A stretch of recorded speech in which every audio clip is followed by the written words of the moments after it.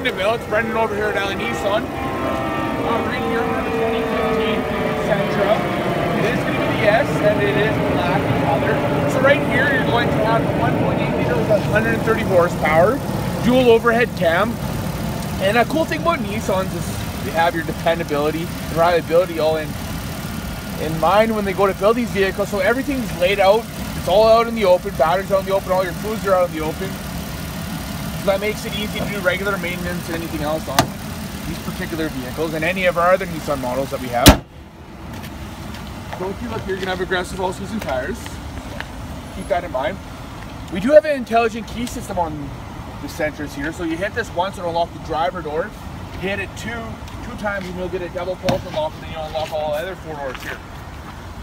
So if you look here, it's quite comfortable back here. I got a lot of headroom, you know, it's I'm about 5'11 and I can sit here pretty relaxed back here. Um, back here, you're gonna see here, you got a latch located at the top of the seat here, and then you can fold it right down so you can get that extra amount of trunk space back here. And, uh, oh, it's pretty cool though today.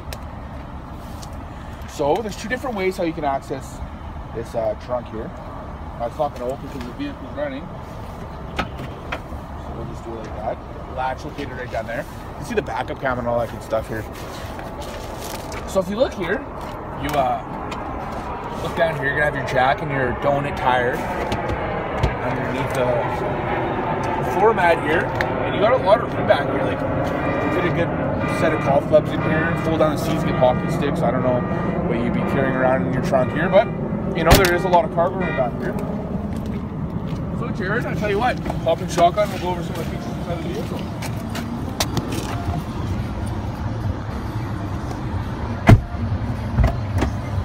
Nissans do have the push start ignition here, intelligent key system. So foot on the brake. I'll just shut it off real quick here, just to show you a quick demonstration. Foot on the brake and just hold down the start button. So you're gonna have your push start ignition. Heated seats on this particular model on the SV. And then uh, right here, you're going to have your backup cam. So put into reverse, pulls that up, right? And then you're gonna have your Nissan Connect apps. Month free subscription of a XM radio, your tuner, and all that good stuff. Look here, you're going to have a 12 volt 120 watt cigarette lighter then you got your usb and your stereo cable jack located right here in the center console cruise control so that's easy to use it just illuminate on illuminate on the dash there to let you know that it's engaged and then you just hold it down to set it media center controls with your bluetooth controls you got a eco mode and a sport mode over here. You can isolate the traction control and then you have your illumination uh, trunk release and your mirror adjustment. Power locks and power windows and uh, these seats are manual adjustment here at the front for the cabin here. So with that being said, have any further questions, love to be able to earn your business, give me a call here, 769-0060, or you can hit us, reply to this email at info at Thank you.